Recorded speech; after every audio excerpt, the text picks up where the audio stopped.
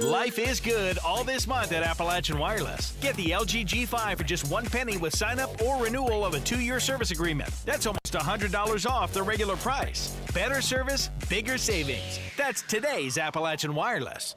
And we're following some breaking news tonight out of Pike County. After a two day search for a missing Elkhorn City man, crews have located his ATV. EKB Shannon Deskins joins us now with the latest information. Shannon?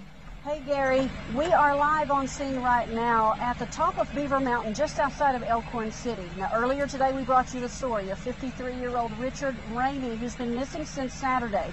Family members say he left um, and was last seen about 1 o'clock Saturday afternoon on his ATV. Now that's the last time anyone saw him. Search crews have been out for the last two days. Actually earlier this afternoon uh, they suspended searches. They felt like they had searched this area pretty well but this was the last area they searched, and that ATV right before dark was located. So Mr. Rainey's ATV is located actually uh, out this road behind me.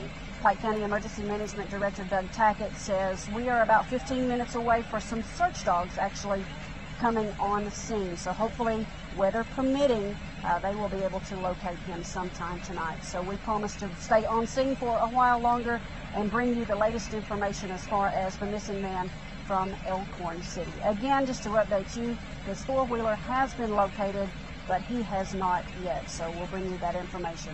Reporting from just outside Elkhorn City, I'm Shannon Deskins.